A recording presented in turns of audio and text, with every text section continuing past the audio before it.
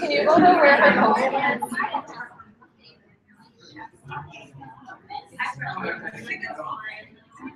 Okay, can you see it? Okay.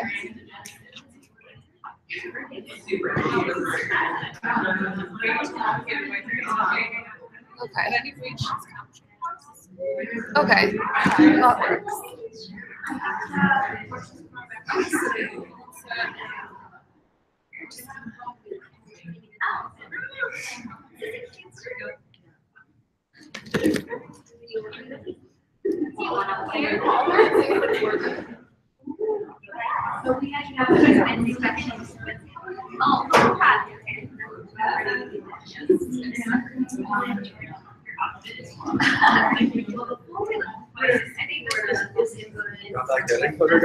Got it. I did not. Know I just need a new event and then it went live. It says it's live. It says it's live. Does she see it? Okay, perfect. It's set. Okay, great. You're gonna leave it like? Yeah, A new event, yeah. It's, it's it's live and she can see it. and it's through Jordan Red Rose Thesis. Yeah. You're supervising?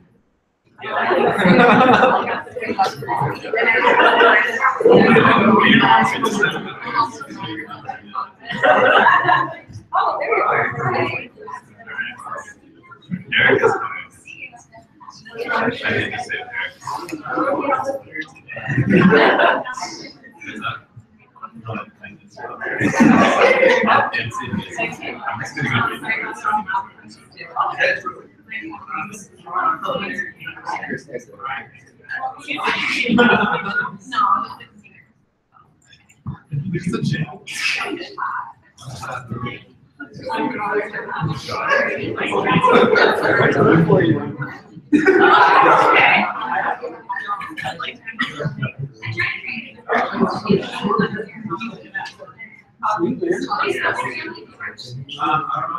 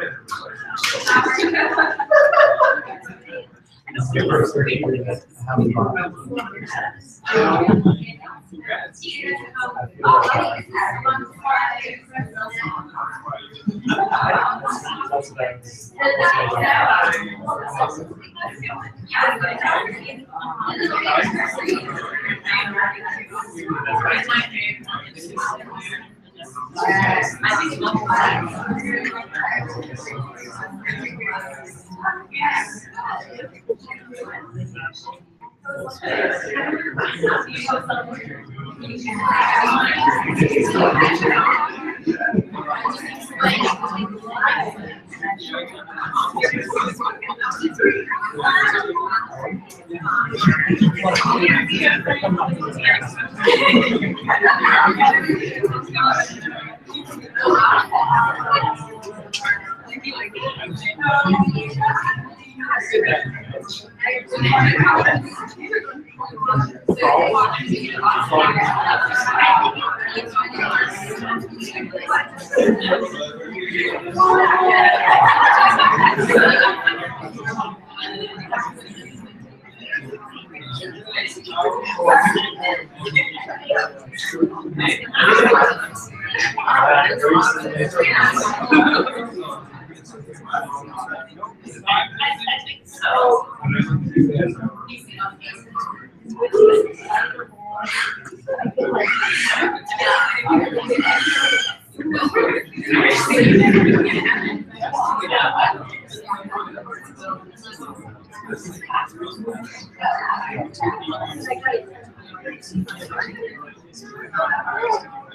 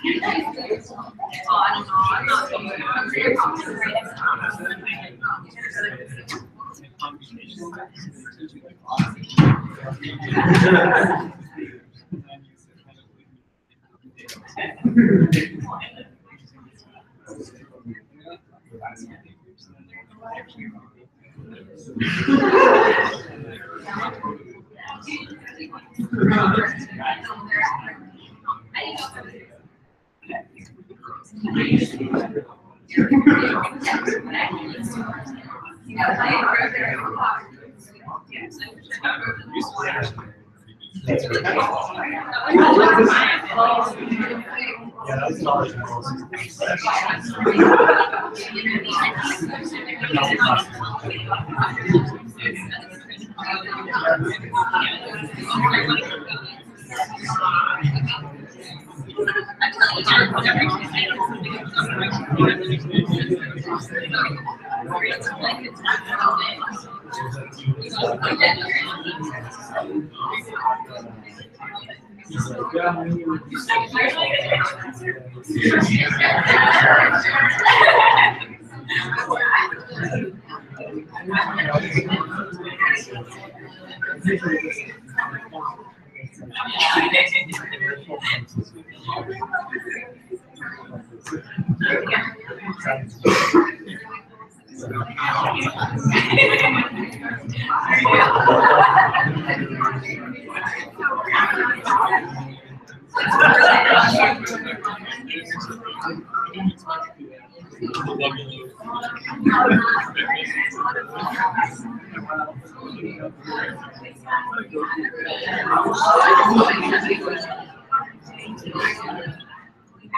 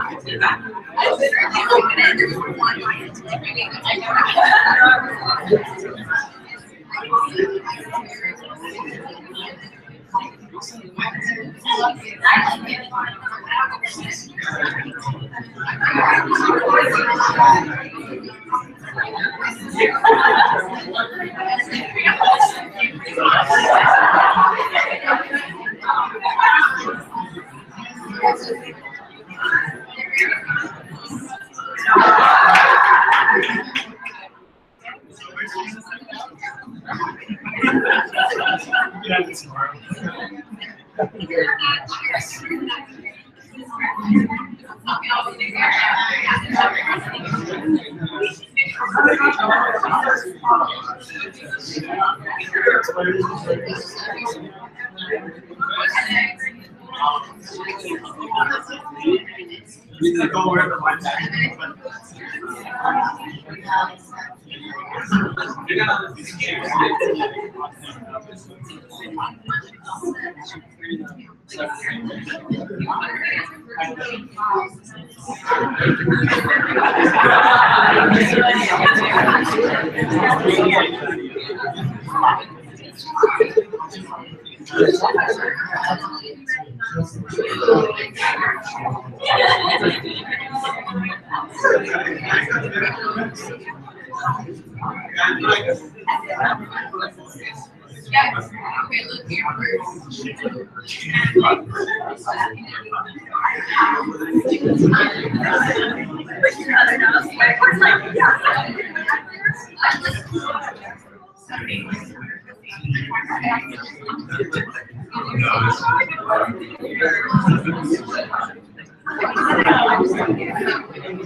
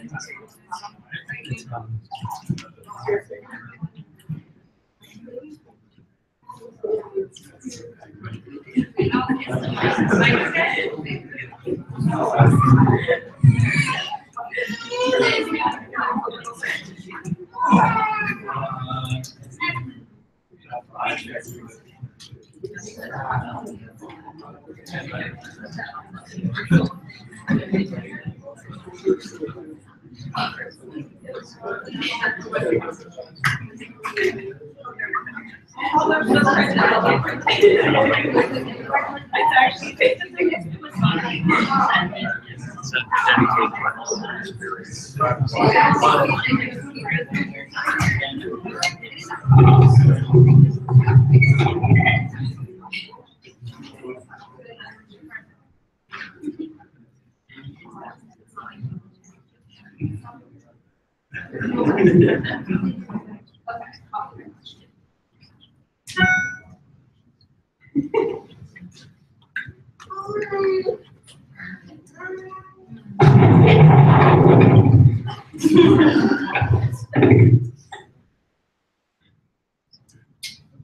please introduce uh, Jordan Barlow for the thesis seminar. I met Jordan uh, when she joined the graduate program uh, coming from the University of Missouri. In her first, in her first year here, uh, she and I had two classes together. Uh, small student seminars where the students do all the talking.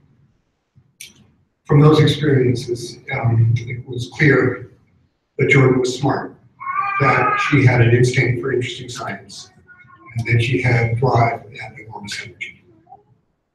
All qualities necessary to do good science. But people who do science long enough learn that those talents may be the entrance ticket, but they're not enough. And they aren't everything. Especially for young people just starting out, doing science can be tough. Experience teaches us that lots of things that don't work, that things outside our control go awry, and we are left to figure out another plan, what Jordan calls Plan B, and then to fight for Plan B. Success in science requires courage and strength of character that holds steady despite turmoil. That Jordan has those qualities as well as her talent have become evident throughout her graduate career.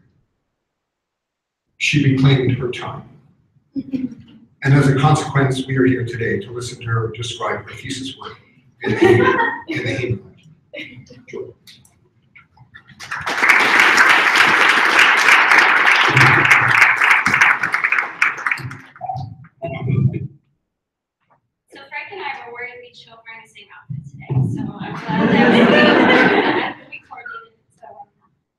Um, thank you, Frank, for the introduction, and thank you all for showing up today.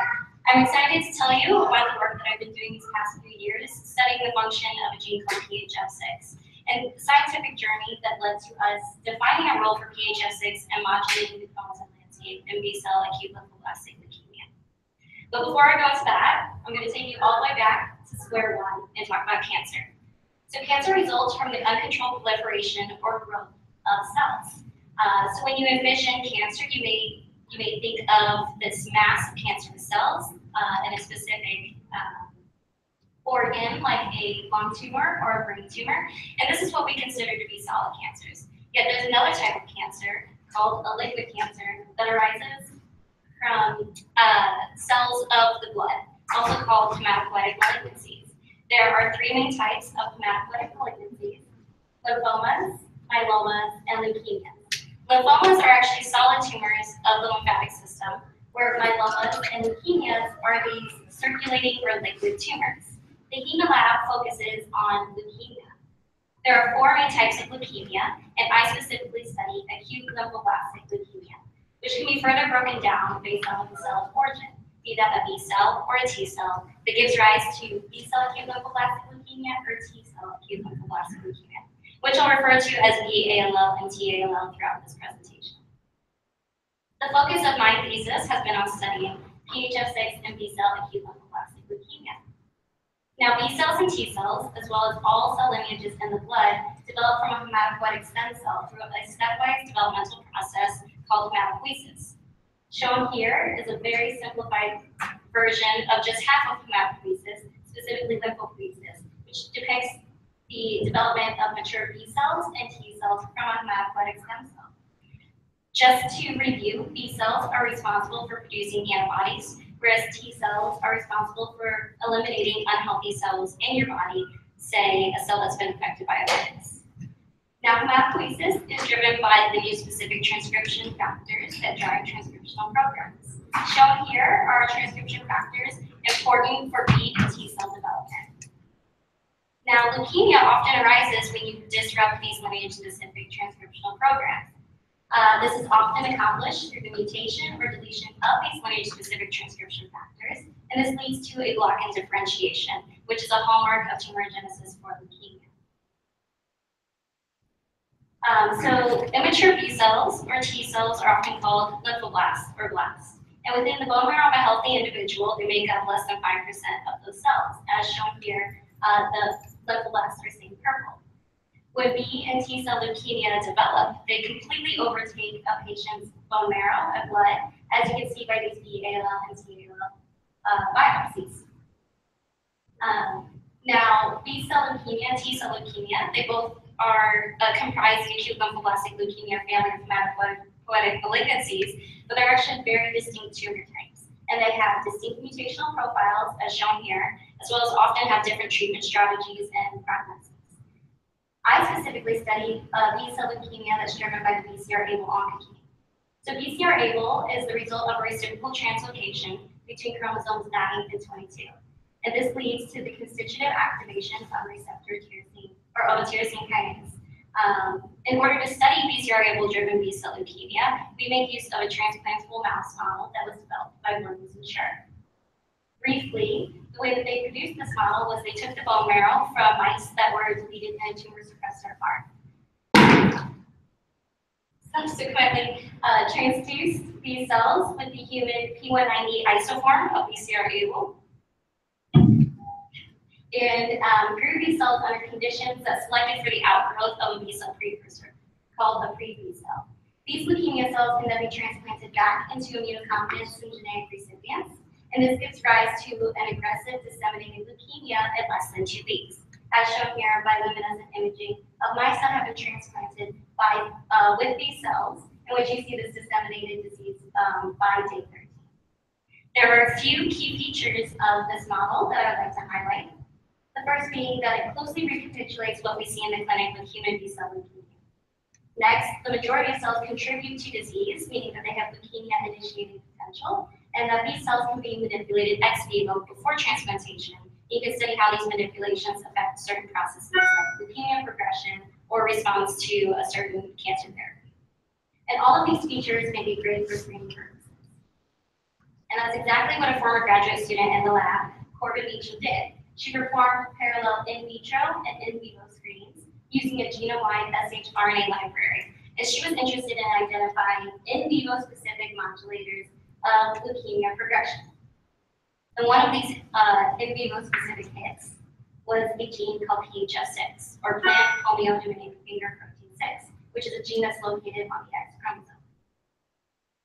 Now, to validate um, hits from a screen in the human lab, we often use an assay called a GFP competition assay. In this, in this experiment, you directly compare the growth of cell hairpin-containing cells to non-hairpin-containing cells within the same cell population. So when you perform um, a GFP competition assay for PHF6, uh, briefly what you do is you have a GFP tag vector with a hairpin targeting your gene of interest, in this case PHF6. You partially transduce uh, a population of cells such that 50% um, contain the hairpin, and then you can either keep these in culture or inject them into mice. And upon morbidity, use the uh, frequency of GFP positivity as a proxy for cellular fitness.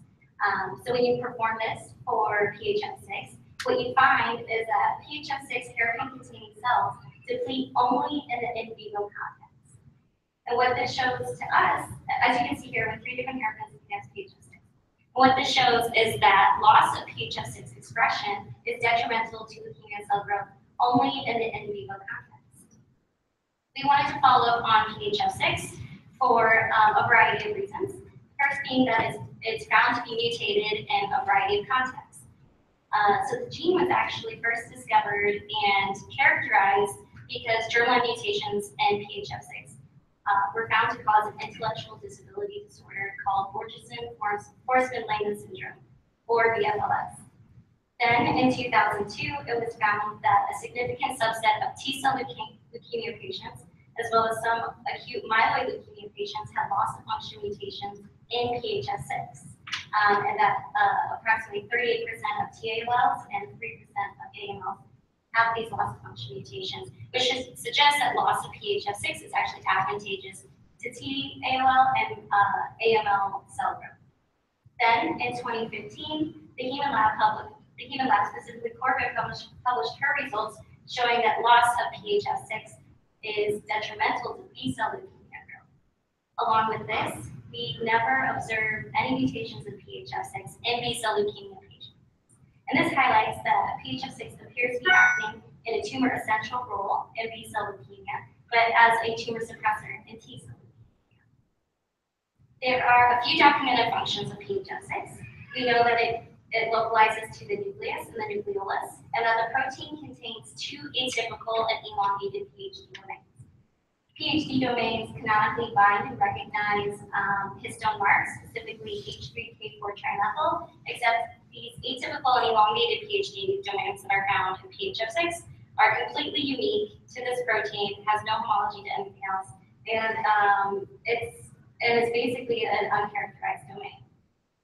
A few different labs at around 2012 were interested in studying the function of PHF6, and through IP mass spec analysis, they found that PHF6 was associated with um, multi-protein complexes that have described roles in the process of gene expression regulation. So gene expression is regulated, it, it's a regulated on multiple levels. The first being modulation of uh, chromatin accessibility to cis-regulatory factors. Um, and this is often achieved through epigenetic mechanisms uh, like the modification of histone tails.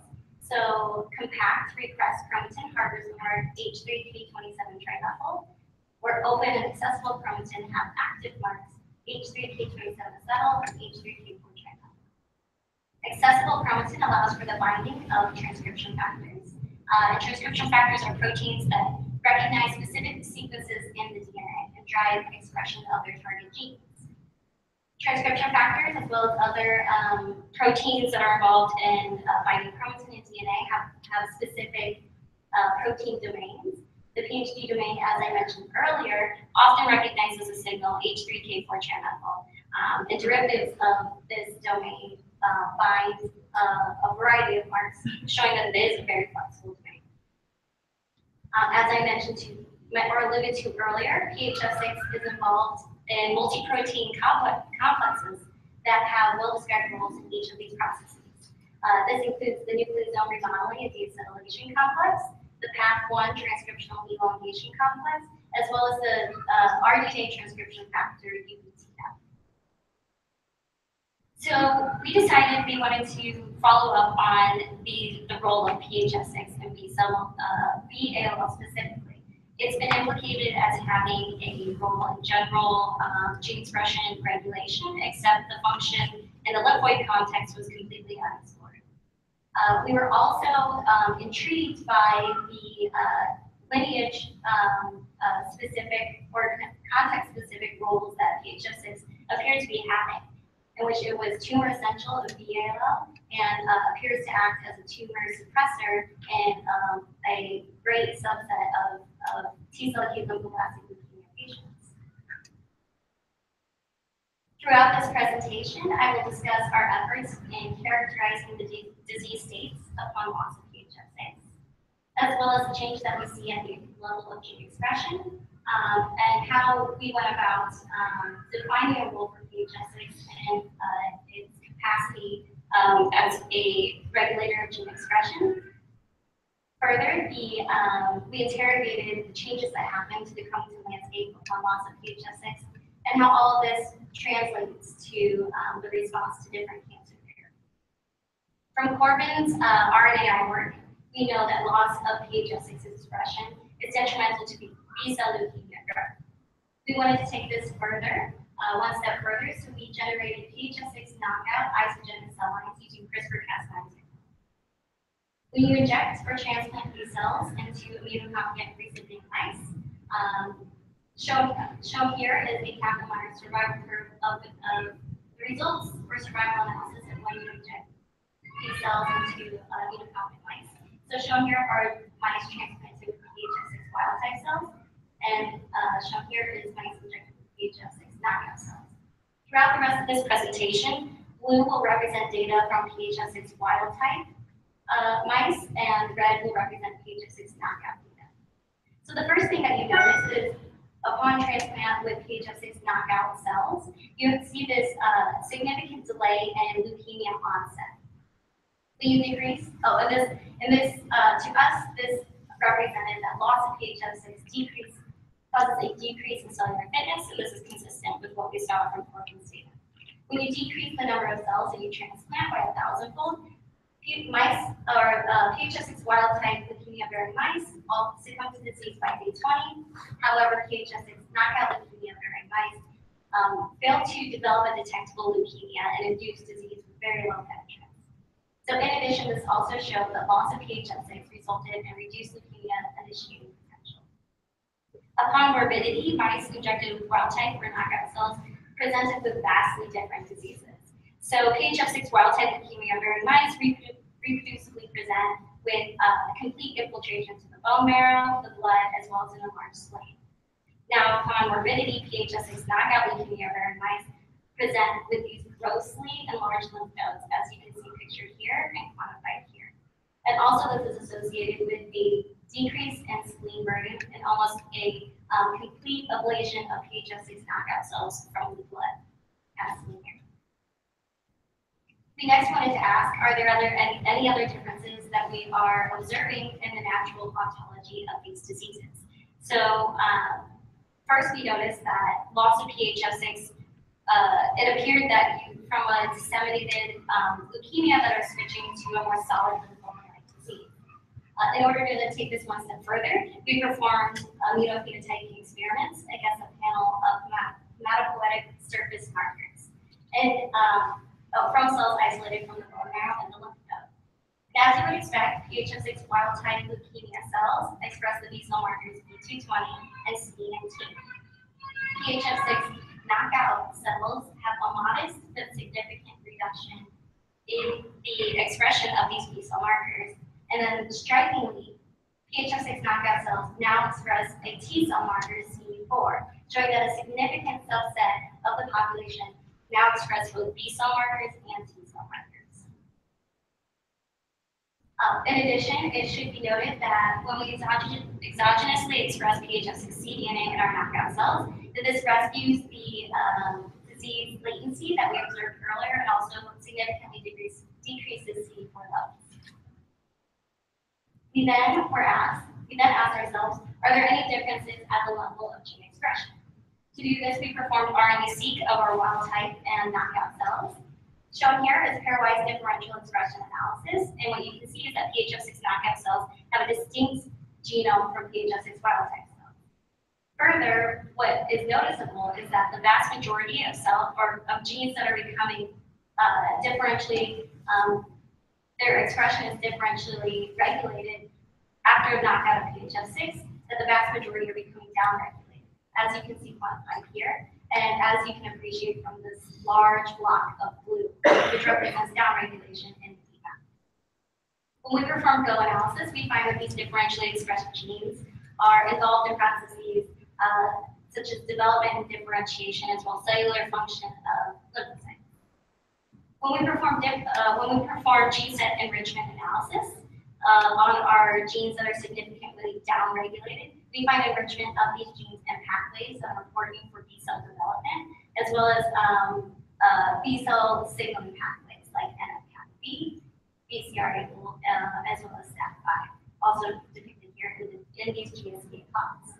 We performed independent component analysis on our RNA-seq data. An independent component analysis um, is, is, a line source separation analysis that is used to reduce noise and pull out uh, changing uh, gene signatures.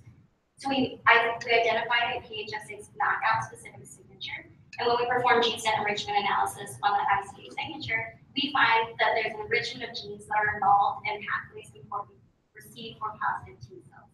Again, shown here in this gene screen. We wanted to take this one step further and actually compare the transcriptomes of these wild type knockout cells to all hematopoietic subsets in a more broader sense. Um, we did this through principal component analysis, um, as shown here, in which each um, each dot represents RNA-seq data from a specific hematopoietic cell subset.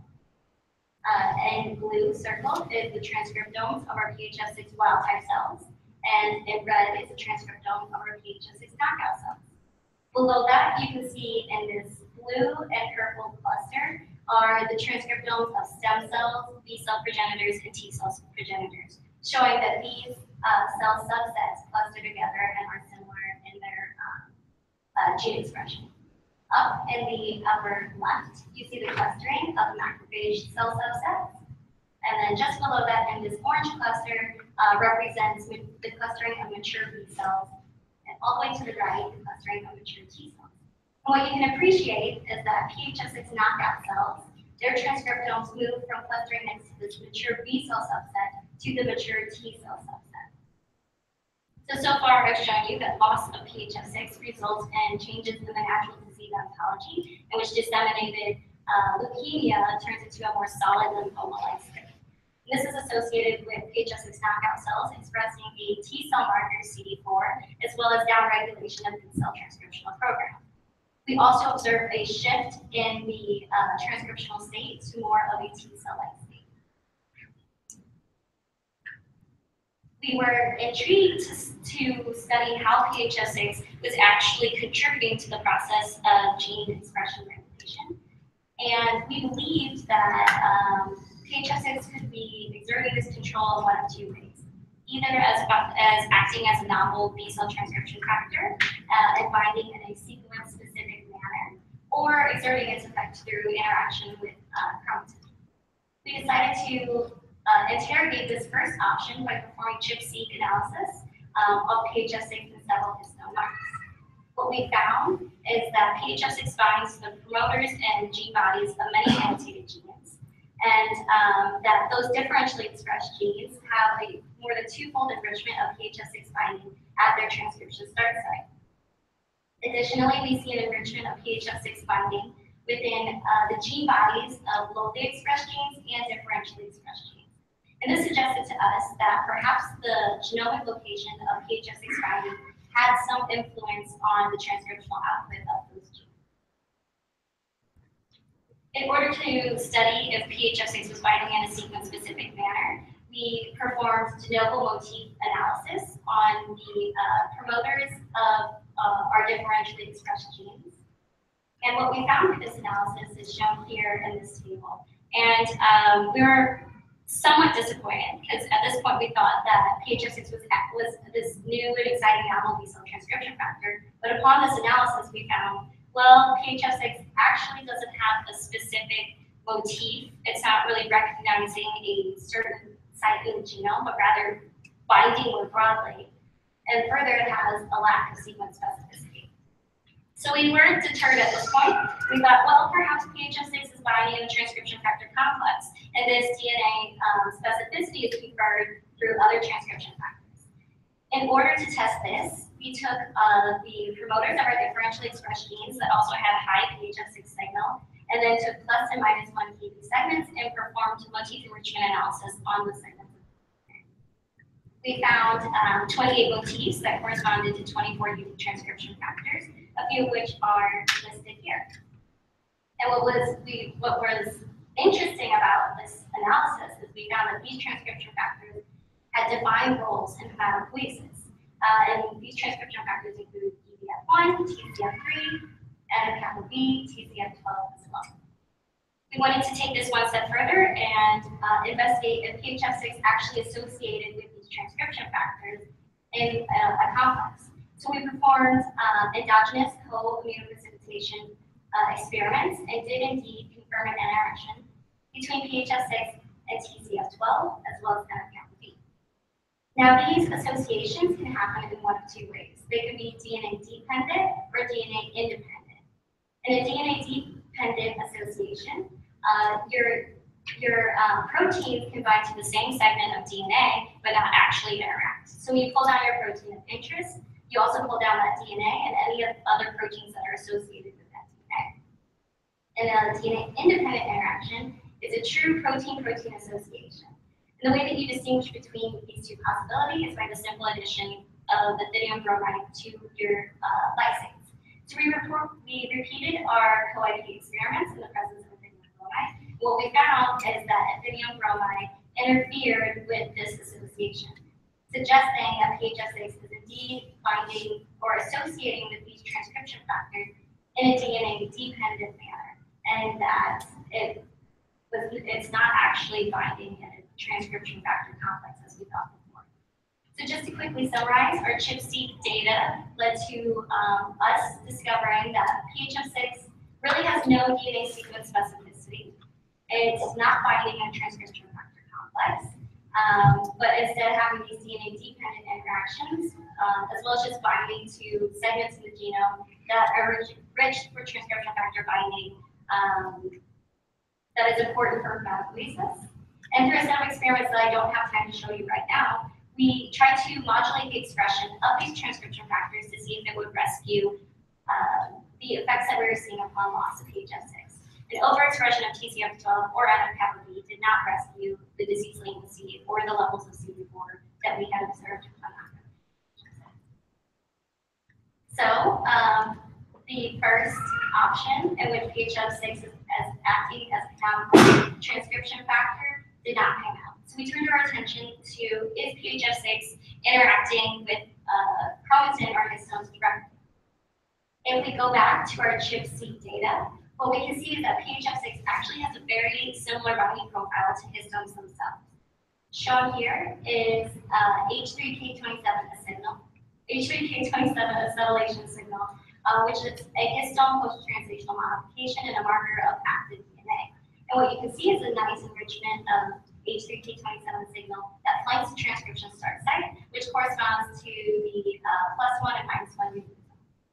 When we rank PHS6 binding based on gene expression, we see that on highly expressed genes, there's a very similar binding profile that PHS6 has that's very similar to H3K27 itself. We, this led us to hypothesize that this similar binding pattern may mean that PHS6 is actually interacting with, with histone proteins directly.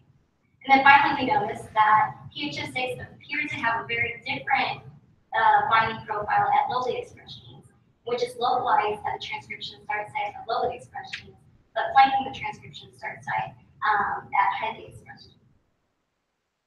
We also see a positive correlation of PHF6 binding with the other active marker of activation, H3K1 trimethyl, whereas there's a low to no correlation between the repressive mark, H3K27 trimethyl. We are able to confirm a strong interaction between PHF6 and histone H3.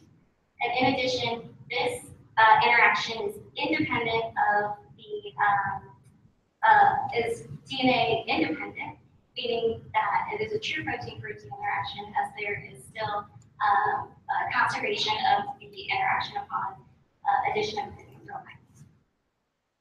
To, to summarize that part, we showed that PHF6 uh, is not acting as a canonical transcription factor or a transcription factor complex, but instead making direct protein-protein interactions with histone protein.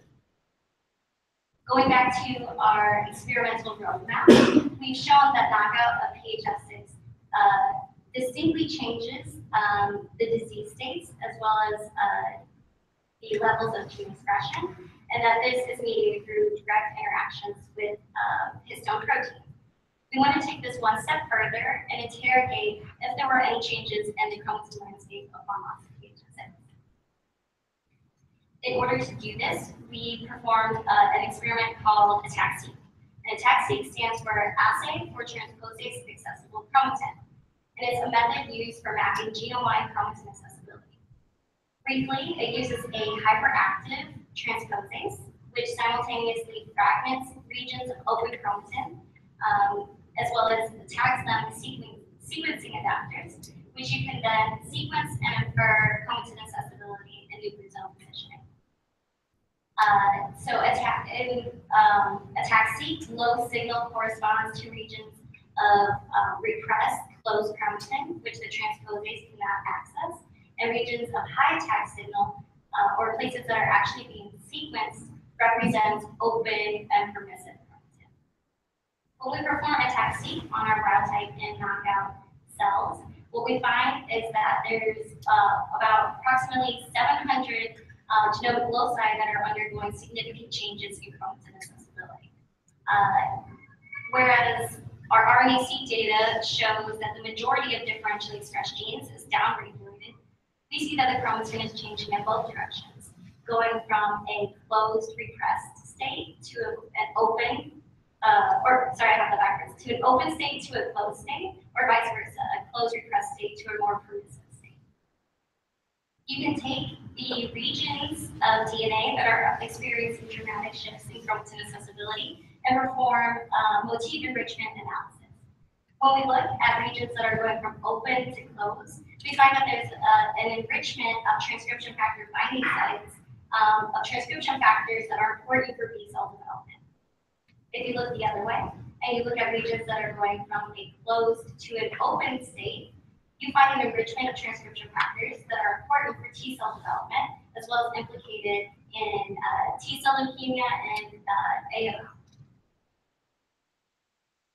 Um, so uh, in addition to just looking at chromatin accessibility, you can use a TAXI and actually map nucleosome positions. Shown here is the nucleosome positions in a metagene plot of uh, PHS6 wild type cells shown in um, a solid line and PHS6 knockout cells shown in this dotted line. And so this type of graph, what this represents is um, here at this uh, this low peak in the signal, this represents a nucleosome-free region, which is characteristic of the transcription start site. The peaks that we observe um, to that flank this nucleosome-free region correspond to the plus and minus one nucleosomes. Due to the lineage fluidity that we were observing upon loss of PHS6, we decided to focus our nucleosome positioning analysis on lineage-specific gene sets. And we utilized two pre-curated lists of genes that were unique to CD19 positive B cells and CD4 positive T cells.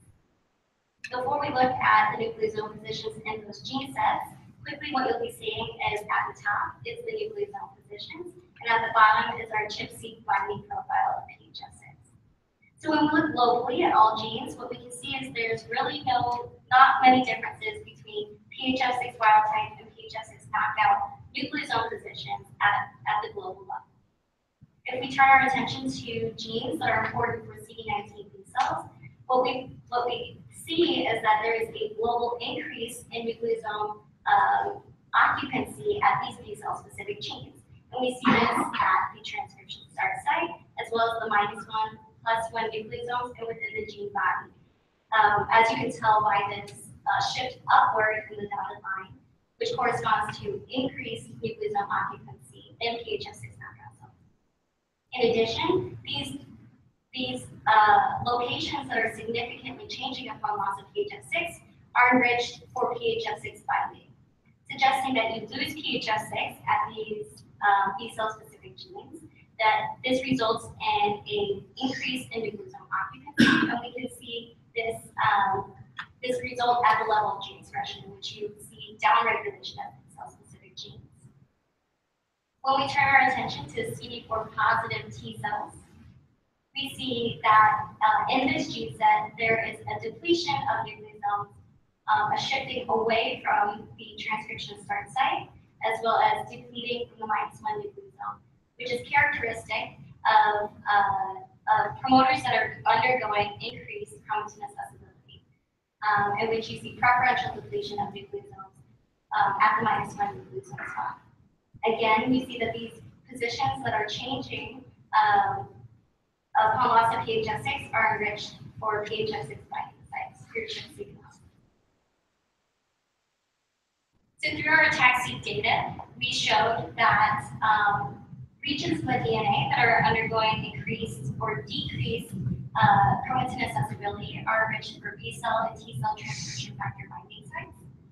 Further, we show that um, we, we observe major changes in nucleosome positions at these B cell and T cell specific genes, and that these changes overlap with PHS6 binding. This led us to um, think more critically about the changes that we are seeing at T cell transcription factor binding sites um, and led us to postulate that perhaps this permissive chromatin landscape around these T cell specific genes would allow for T cell transcription factors to bind and um, drive T cell programs. So just to reiterate, in PHS6 wild type cells, you see that um, T cell transcription factor binding motifs are found in closed compact chromatin. And this is a common mechanism in order to repress the T cell fate. Upon knockout of PHS6, you see an increase in chromatin accessibility at these transcription factor binding sites. And therefore, we wanted to test if a T cell transcription factor could bind its cognate motif and drive um, a T cell program. We're interested in one T cell transcription factor in particular, and that is NOTCH1. So NOTCH1 is the main driver of T cell development, as well as activating mutations in NOTCH1 drive the vast majority of T cell leukemias. We also know that PHF6 mutant TALLs have a significant association with mutations in NOTCH1, which about 80% of PHF6 mutant TALLs also have uh, activating mutations in NOTCH1. So we therefore wanted to test the effects of overexpression of NOTCH1 in our wild type and knockout cells. We used a constitutively active form of NOTCH1 called the NOTCH1 intracellular domain, which we shortened to NICD um, in, this, in the next data. So when so uh, NOTCH1 signaling is actually toxic to B cells normally, and that's what we observed upon overexpression of Notch in our PHS6 wild type cell, in which these cells are now no longer viable. However, upon notch overexpression in PHS6 knockout cells, these are not only viable, but they have equivalent growth rates as our vector control cell. When you inject these into immunocompetent syngeneic recipients, what you find is that PHS6 knockout cells that overexpress notch give rise to a latent lymphoma, and that it um, and that this disease was, presents with extensive thymic infiltration as quantified here. So much so that when um, these mice succumb to disease, the rib cage, which houses the thymus, the lungs, and the heart, are completely overtaken with thymic tissue and it's filled with lymph fluid that is that is made up entirely of these uh, knockout plus notch uh, leukemia cells. Also, overexpression of notch results in a significant increase in the expression of CD4 on our PHF6 knockout cells, uh, demonstrating that notch overexpression pushes our T cell knock or PHF6 knockout cells more into a T cell state. So what we've just discussed is that the changes that we're seeing in chromatin accessibility with increases um, uh, in chromatin uh, accessibility at T cell transcription factor binding sites actually functional, functionally allows for a T cell transcription factor to um, hijack the B ALL genome and push it more into a T cell, like or a T ALL state. Now, you can't get very far in the human lab without asking, uh, how does this affect response to cancer therapies? Um, BALLs and TALLs, uh, specifically BCR-ABL-driven malignancies, have different treatment strategies. Um, so uh, Oftentimes, they are B cell, a BCR-ABL driven B cell leukemia is treated with an inhibitor of BCR-ABL, like imatinib, dasatinib, or ponatinib. And ponatinib is a third generation BCR-ABL inhibitor. Whereas T cell leukemias um, are often treated with multi-drug chemotherapy regimens. Um, so we, we next decided to look at the response of wild type and knockout malignancies to uh, these two different um, of uh. We first looked at the response to ponatinib.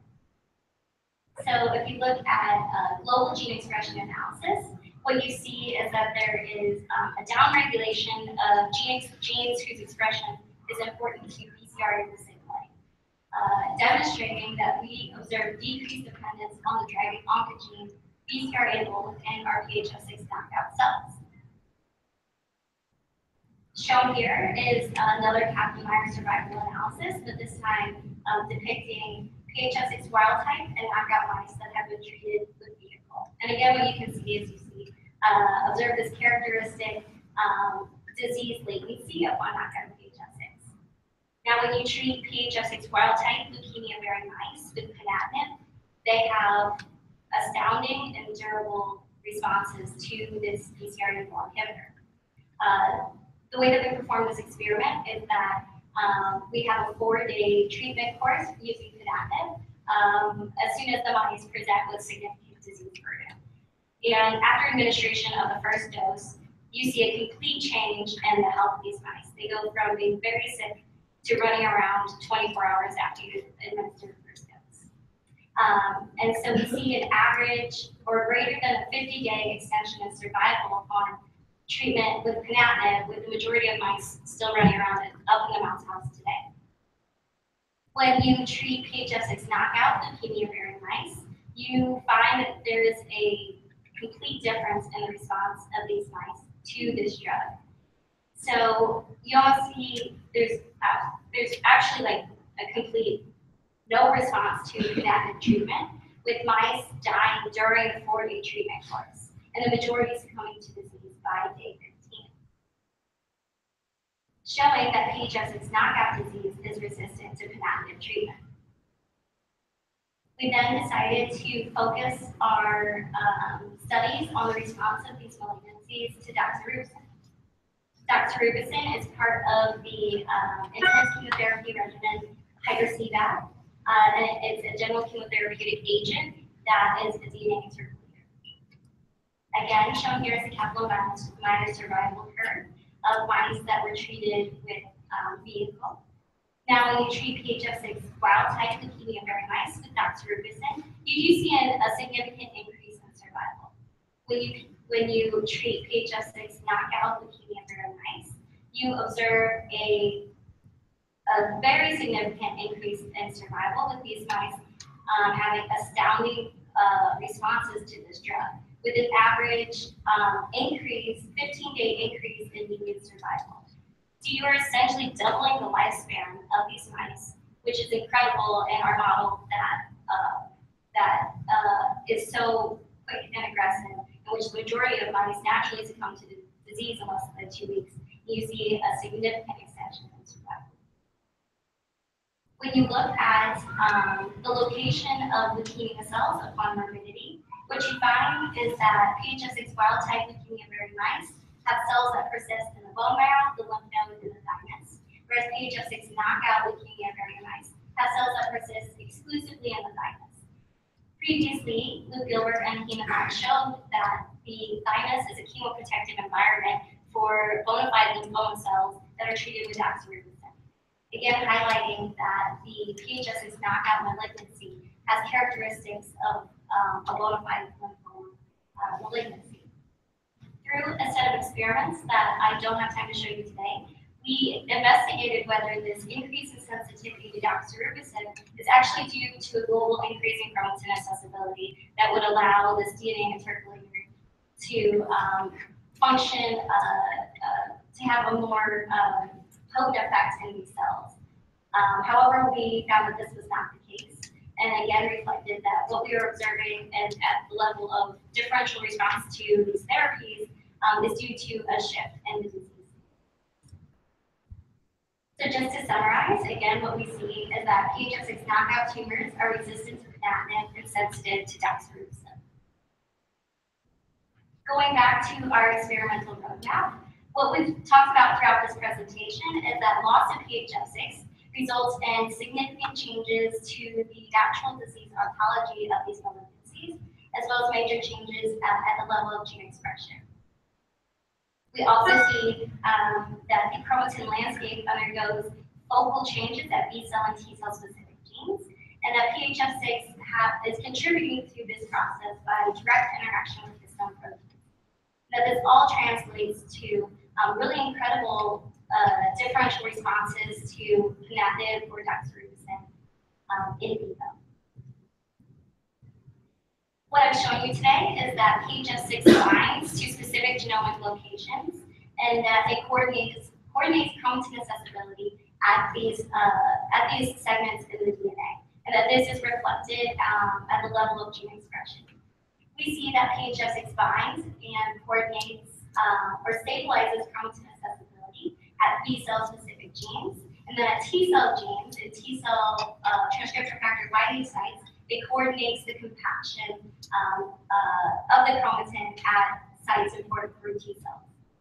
When you lose PHF6, we observe dramatic remodeling of the chromatin architecture at these B cell and T cell specific genes. That this is reflected at the level of um, as small as gene expression to as big as the response to different therapies. And that this modulation of the chromatin landscape imparts lineage plasticity to our B cell leukemia cells. Throughout all of this, we still had this paradigm in our mind. We were still intrigued by this question. Why is PHF6 acting as a tumor essential in levels, but a tumor suppressor in T levels? What we've shown you is that loss of PHF6 is detrimental to B B cell leukemia growth. Uh, what we've also discovered is that loss of PHF6 results in lineage plasticity from the B from B cells to a more T cell like state. Um, and this is done through dysregulation of the chromatin landscape. We therefore postulated that the a significant subset of T cell leukemias, specifically 38%, or those that are mutant in PHF6, may have once actually originated as a B cell precursor. And that's why you do not ever notice that PHF uh, or ever observe mutations in B cell leukemias, but you do in T cell leukemias. So you can imagine that you have a B cell precursor, and that this B cell precursor obtains a mutation in PHS6, specifically a loss of function mutation. That this imparts not only lineage plasticity and loss of cell identity, but that you see these changes in the chromatin landscape, specifically uh, increases in chromatin accessibility at T cell transcription factor binding site. You can also imagine that this T cell precursor may also acquire an activating mutation in a T cell transcription factor, let's say NOTCH1, and that NOTCH1 can now bind its motifs in this B cell precursor, um, in this B cell precursor genome and drive and hijack this cell and, and drive it more towards the T cell like state. And upon complete tumorigenesis, you see that this actually as a T cell leukemia. Dysregulation of the chromatin landscape has become more appreciated within the past year uh, as having significant contributions to a variety of cancer processes, including tumor progression and lineage conversion, as well as metastasis. And um, we are also observing uh, this novel mechanism of resistance to targeted therapies in a variety of. So what we've shown you is that loss of PHF6 is detrimental to B cell leukemia growth, and that loss of PHF6 results in um, dramatic changes of the chromatin landscape at B cell and T cell specific genes, and that this contributes not only to uh, it's detrimental to B cell tumor progression, but also results in lineage conversion. Monty Win- Winslow's lab has recently shown that a global increase in chromatin accessibility, which is mediated by a, trans- by a factor called NFIB, actually promotes metastasis in lung cancer. Now, in the clinic, we are seeing that a variety of tumor types are um, relapsing uh, to, upon treatment of targeted therapies by switching to a different lineage. Um, so we see this in lung cancers that are treated with EGFR inhibitors. We see this in prostate cancers, which are treated with anti-androgen inhibitors. And we also see this in B-cell leukemias that are treated with CD19-directed CAR T therapy. Um, and just to expand, when these B-cell leukemias are treated with this CAR T therapy, um, a subset of patients are relapsing by losing CD19 expression and now expressing markers of the myeloid lineage um, which is similar to an acute myeloid. There are three things, um, or three important implications that I would just like to highlight now. The first is that lineage switching appears to be a novel mechanism of resistance and many different resistance in many different tumor types. And just here show lung, prostate, and B-cell leukemia. So the more that we discover and learn about different cancer types, the more that we can identify novel therapeutic targets and we can develop targeted therapies to those targets. And what we see, we're seeing in the clinic is that one mechanism of resistance is through lineage switching to targeted therapies. What we've shown throughout this presentation is that dysregulation of the chromatin landscape is may it's a huge contributor to lineage conversion, and that this may very well underline this process of uh, lineage conversion that we're seeing in the clinic.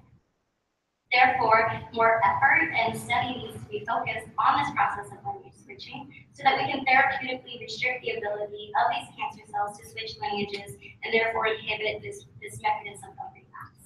And I'd just like to highlight that this is clinically relevant right now in which um, the treatment of B-cell leukemias with CD19 CAR T therapy was approved by the FDA um, in just a little under a month ago. So um, these patients that uh, develop uh, B-ALL and are treated with CD19 CAR T therapy, they are having strong and durable responses. But a subset of patients are relapsing through this lineage switch mechanism. and um, actually succumbing to disease. And um, just to end, what we've shown you is that through our studies with PHF6 in BAL, we've shown that the chromatin landscape or dysregulation of the chromatin is a huge contributor to this process of lineage conversion. And further, that PHF6, uh, we have defined a role for PHF6 and modulating this chromatin landscape and described how loss of this gene has huge implications um, in B cell identity and um, uh, response to different therapies. And with that, I have a lot of people that I would like to thank. Well, if you know me, I'm a crier, so start taking, start taking bets right now about how long I've been. So first and foremost, I would like to thank my scientific advisors, uh, Mike, Jackie, Tyler, and Scott. Um, so a lot of the experiments that I showed you today came as a result of conversations that I had with both of them, uh, which resulted in, hey, did you try this? Or um, this kind of looks like what I can see over there. Go look into that further. So this project, the paper, as well as my thesis would not be where it is today without all of your support. Uh, I would also like to thank Scott for coming here today and serving as my outside member. The Hemann Lab. Um, so the Hemann Lab is not just my coworkers. They are my lab family. Susie, Yukon, Sylvia, Faye, Christian, Luis, Simona, and Mana. Uh, it's gonna get to me. so there are no other people in my life that I would like to share those crazy long nights of work, the snapshots, the triumphs, the tribulations, birthdays, holidays, and every day. You guys constantly amaze me. No, easy. But your intelligence, your work ethic, your courage, your spirit, your support. I wouldn't be here without you and I thank you. Waterworks can happen. Okay, um, I have, I owe a huge thank you to Team PHF6. This project was the result of close collaboration with former graduate student Yadira Soto as well as um, the current graduate student Ian Fong. And you we could all acknowledge you. right now. I have so much gratitude for these people, for their hard work, their effort, their passion, and the time that both of you have dedicated to this project and studying PHF6. I wouldn't be here, and this project wouldn't be here today without both of you, and I'm so proud of how it turned out. Also, on Team PHF6, uh, I need to thank Abe, who, and his efforts and help with the ChIP-seq experiments, AJ with his um, help with RNA-seq analysis, as well as Jason and Christine from the, and Yukon from the Forget Lab um, for their work on uh, the ATAC-seq. Um, I would also like to thank the FACS facility uh, and the many fond memories of the late, late, late nights spent in the FACS facility, as well as the Whitehead Genome Sequencing Core and my funding. And I would also like to thank Lily's Lab for their help in this final stretch in getting in getting the paper out and celebrating with me and supporting me and being there um, through everything these past six months. BioGrad 2015. As you can see, they showed up in full force in their pink shirts. um, I was so fortunate to be part of MIT's BioGrad class of 2013. Let me tell you, these four years have been one for the books. From the very first night that they met me at a barbecue, um, my first niece was born, and you can see her running around back there. They welcomed me with open arms, as well as celebrated um, from the pit parties to shotgun season to hockey balls to pit prom to flip cup turnip, uh, as well as glam on Fridays. I've got a group of wonderful and brilliant scientists that I'm grateful to know and call my friends. I would also like to shout out that our, um, where's the picture? Shown here are pit prom king and queen. Be married. here uh, in year. But if I do recall, Dan and his bow tie were a close second. and Dan did get married first, so I think you're actually. My friends, um, there are too many of them, but I have to just all group you into one because I would just cry and never stop. Um, you guys have kept me sane throughout these past four years and kept me laughing. Um, I also want to shout out my bowling club who got me through many tough times uh, and always gave me strength and courage um, throughout uh, the time that we've been each other. I specifically would like to thank my dart squad. Jake, let's all appreciate it. How I first met Jake. Jake, Faye, Erwin, Andre, bartender James. Thank you for making my Tuesdays and Thursdays and Fridays something that I look forward to throughout the week. For about three years before uh, I got trapped into this web of friendship. I was a hermit in the lab and um, never really left. But now I can say that I have a hobby. Playing darts averagely, um, sometimes a little better than average. Um, and uh, I just thank all of you for your friendship. My ladies, this one's gonna get me. Danielle, Faye, Ellen, Emma, Marissa. You are powerful, amazing, wonderful that I rely on every day. And through your example, you always inspire and support. Thank you, Danielle, for traveling here through hurricanes, through two hurricanes from Florida. Um,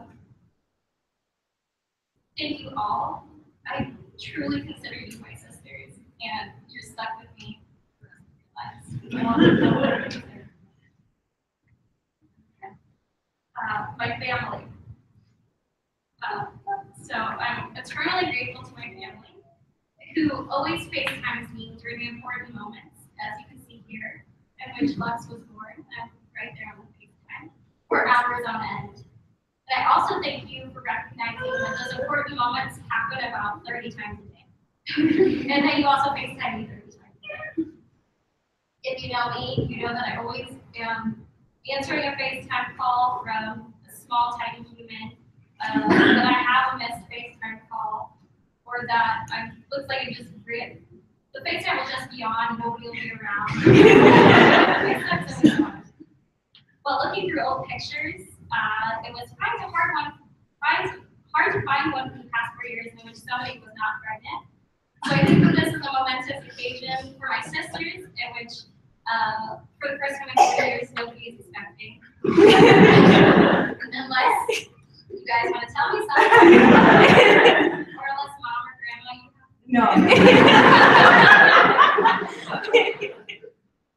Um, I would also like to thank Maria and Carmen, who are my lab mamas, and who always kept me grounded, um, and, remi- and reminded me uh, that there was more to life outside the lab. Okay, this is where I live.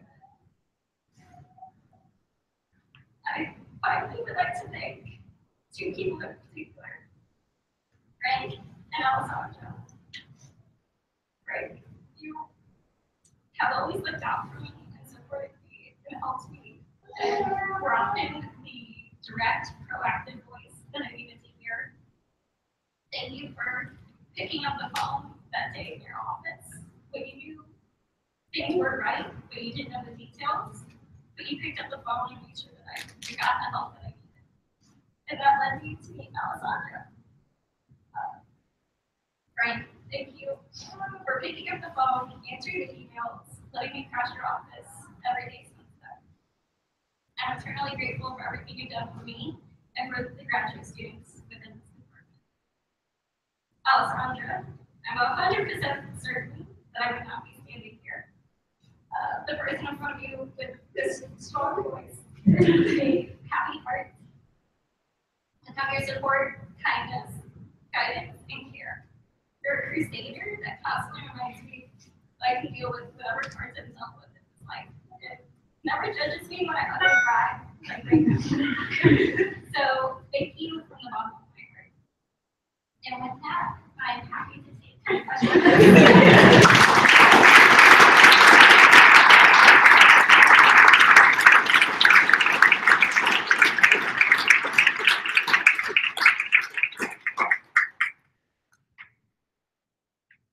How far down is my mascara?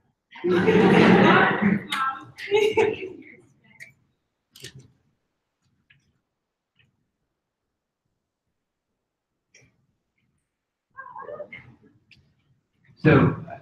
I, so I apologize if I missed this, but in the humans that, did you say there's humans with, these- That, yeah, have germline mutations. um, any of those have, may not have been looked at, but skewing of B or T cell lineages?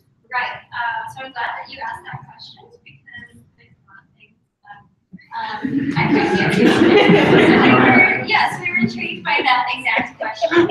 Um, so these, these patients, these BFLS patients that have these germline mutations, um, they do not have any reported hematopoietic deficits and, uh, they, they are predisposed to cancer. Um, there are two instances in which these BFLS patients, one developed uh, a non-Hodgkin's lymphoma and one a T-cell leukemia.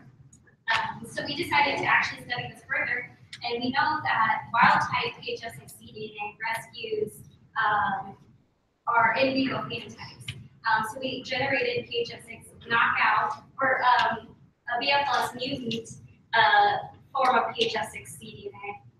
And we observed the same thing in which uh, BFLS mutant cDNA rescues the disease latency and also the levels of CD4 expression, suggesting that these missense mutations, and that's exactly what they are, they're missense mutations in BFLS and deletions and truncations in these leukemias, that um, it appears to uh, conserve the lymphoid um, functions of PHF6.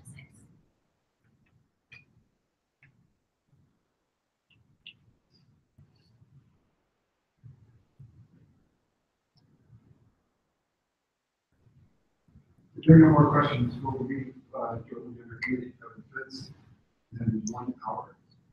We look here on the fifth.